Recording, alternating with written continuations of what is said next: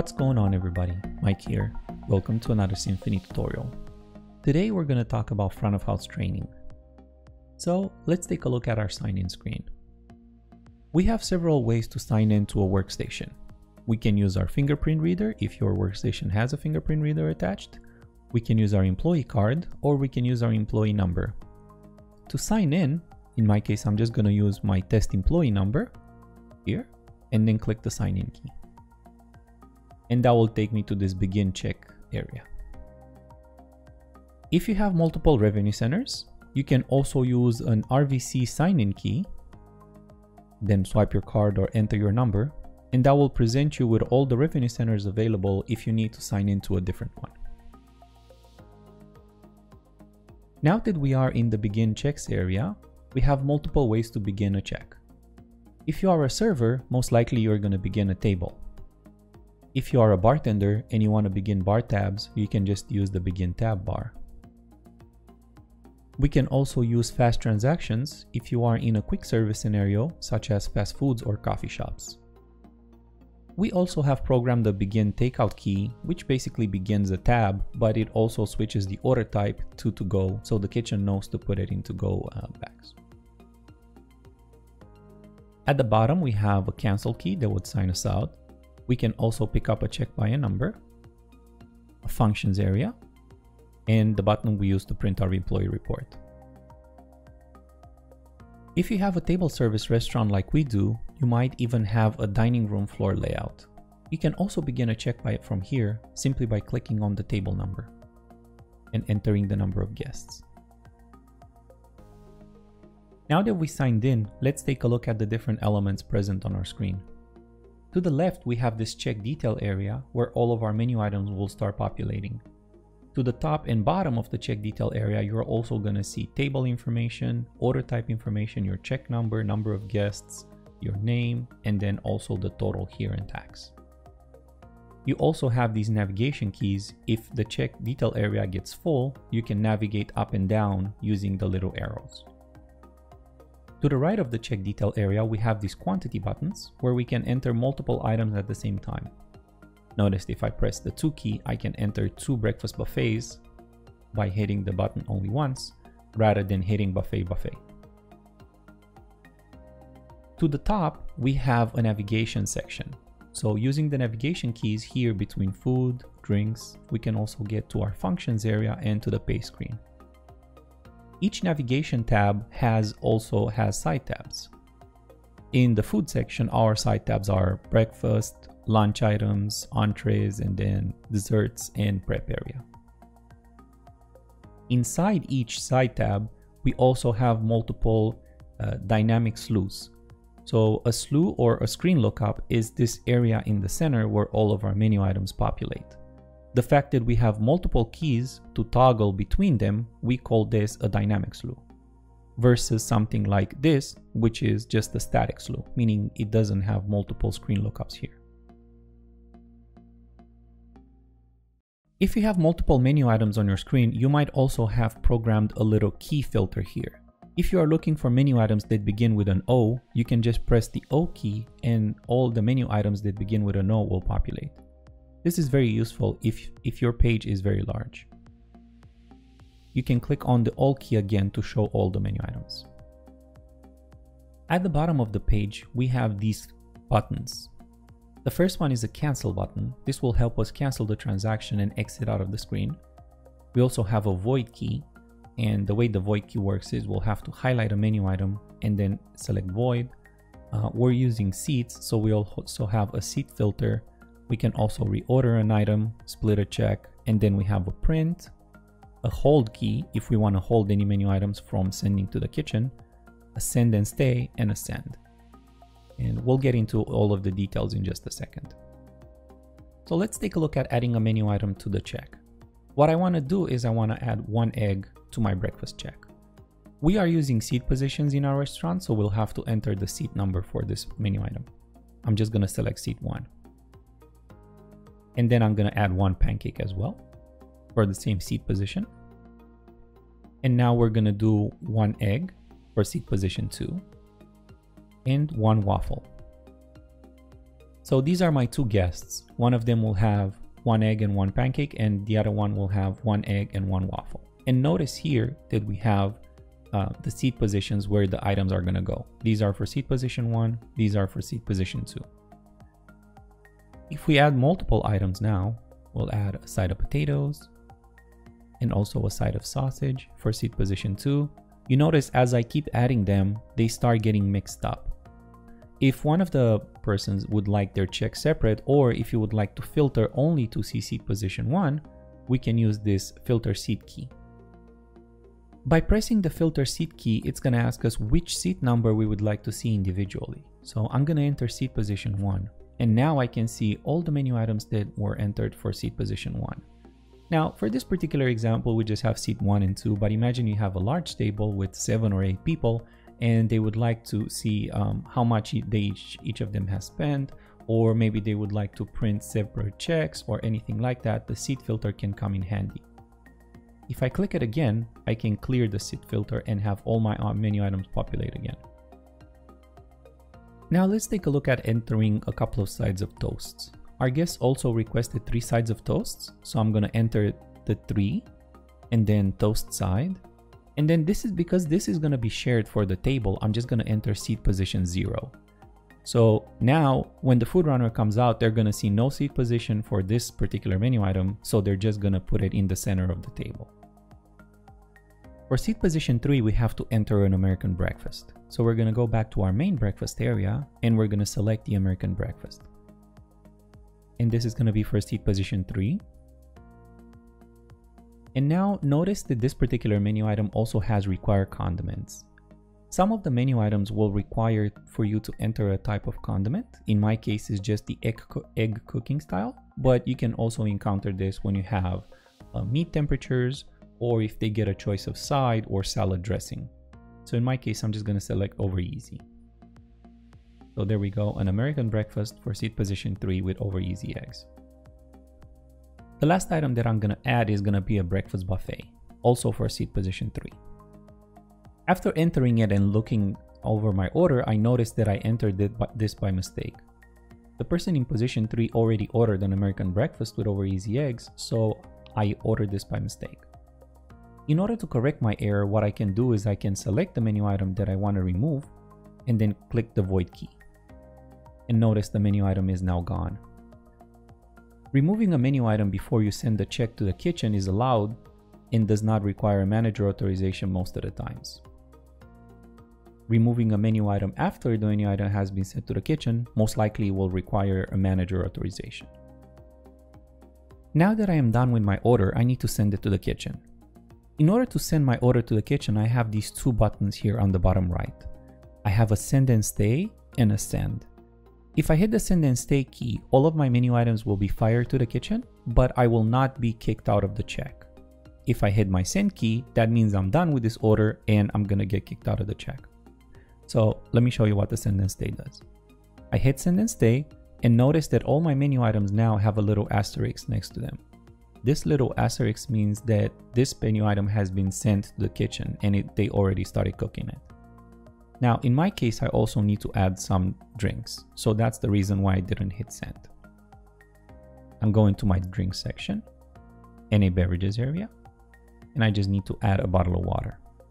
Now that I am done with my order, I'm just gonna hit send. After I hit send, I got returned back to the begin checks area. And you notice my new started check is here. All of my other checks that I start will start lining up one after the other here in this, in this area.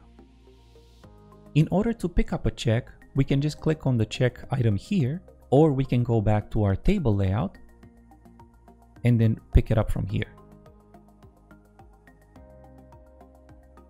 Another very useful key we have programmed on our screen is the reorder function.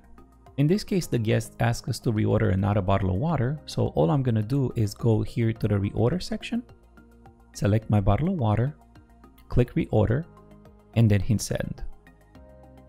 This way, if you have multiple items that you want to reorder, you don't have to find them each individually. This is particularly helpful for menu items that have multiple condiments attached to them such as cocktails with specific items that the customer requested. Now let's take a look at opening a bar tab. For this, I'm gonna sign out and sign into the bar revenue center. I'm gonna click the RVC sign-in key, swipe my card, and select bar. After we signed in, we can begin a tab by clicking the begin tab key here at the top, or by going to the bar section and clicking on one of the bar's tools. I'm gonna choose to use tool 701. After I open my tab, I am presented with a classic cocktail section. This is where we're gonna enter the cocktail for our guests. In this case, they each order a caipirinha. So I'm gonna enter caipirinha, caipirinha, and those are my two drinks. And then I'm gonna hit send and stay. Now, they also ordered one appetizer and two sandwiches. So I'm gonna go to my food section, to the appetizer area. I'm gonna order the ahi tuna they wanted. And this is gonna be for seat position zero because they're sharing it. They also order two sandwiches. So I'm gonna go to the entree section and order the two beef sliders they wanted. I'm gonna order one for seat position one and the second one for seat position two. Now, if you take a look at my check detail area, I have my ahi tuna here and then also two beef sliders. Now, I don't want to send all of these at the same time to the kitchen because the kitchen might bring them all at the same time, bring them all out at the same time. So what I'm gonna do is I'm gonna hold the two beef sliders by selecting it and then clicking the hold key. Selecting the second one and then clicking the hold key. By holding two menu items, you already have them in the system so you don't forget what the order was and you don't have to worry about writing them on a piece of paper. But at the same time, you're not sending them to the kitchen uh, for them to get cooked. So what I'm gonna do now is I'm gonna hit send. If we go back into my check, we notice here that it has a little H on the corner. That will indicate that this particular check has held menu items on it. This is a good indicator in case you forget about them, you see the little H, you remember that you have to reopen this check and fire all of the food items. Now, notice that my ahi tuna has the little star or asterisk next to it, so that means that the kitchen has already received it and it's cooking it. As my appetizer is arriving, what I can do is I can unhold the beef sliders by highlighting them and clicking hold again, and then also the second one, and then clicking send. Now, as my guests are enjoying their appetizer, the main courses are also getting prepared. As my guests are enjoying their food, they also order another round of drinks. So I'm gonna go and open my check here and go ahead and order another round. So I'm gonna select both my caipirinhas here, click reorder and send.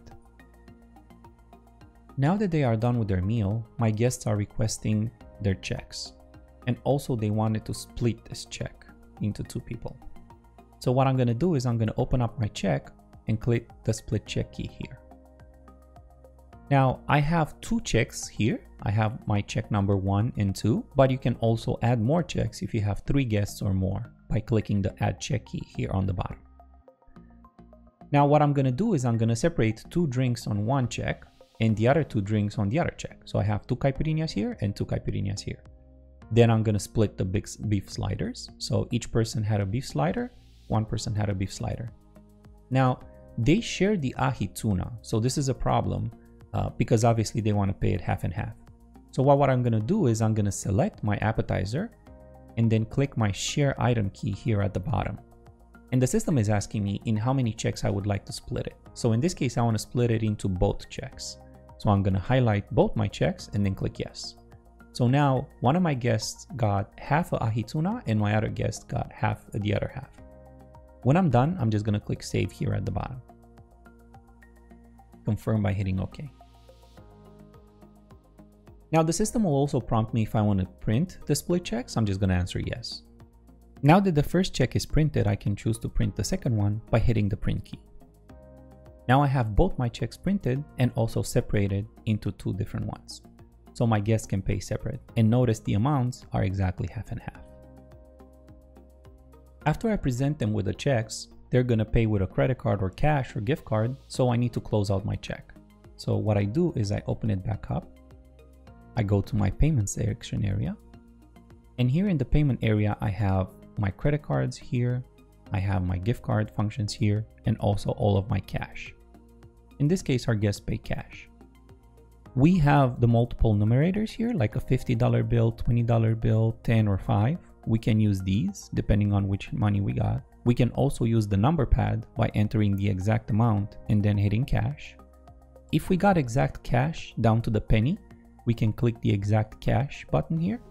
And also we have this next dollar up function. In this case, my check total is $55.65. So the next dollar up would be fixed 56. So if I hit this, then the system will tell me that I have to give them change 35 cents.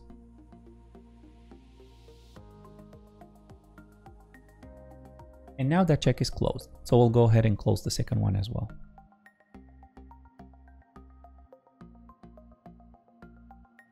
In this situation, what we can also do, we can pay, for example, with multiple payment methods.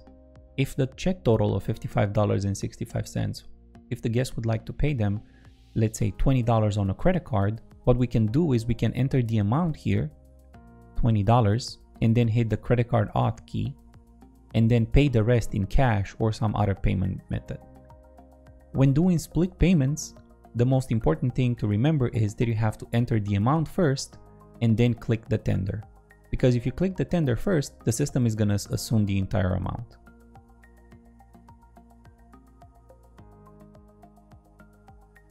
Now we can take a look at the functions area. So what I'm gonna do is I'm gonna click the employee function section here, and then we have a good couple of our functions. We have our employee reports, some cash draw reports, uh, also some check adjustments, and these are usually done by managers. We have our button to declare our cash tips at the end of our shift. We also have cash drawer functions. If you are a cashier or if you are a bartender and you are using a cash drawer, you will use the assign cash drawer key to start your cash drawer and assign it in the morning. And you can use the unassign to re-unassign your cash drawer when you are finished with your shift. You can also use the no sale key if you are allowed to in order to open the drawer. We also have guest check IDs functions. This is where you can change the guest check ID if you begin a tab or if the check does not have a guest check ID, you can add one. You can change the number of guests if you need to edit that we can merge checks and split checks. So the split check key works just like the one here at the bottom. It depends on where you have yours programmed. We can also edit the seats if you need to make any changes to the seats here. Split the check by seat. This is also a very helpful function if you have seven or eight seat positions. The same filter seat key that we saw earlier is also here.